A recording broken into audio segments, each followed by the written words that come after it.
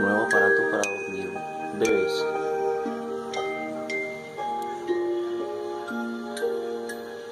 Ah, perdón, y mamás.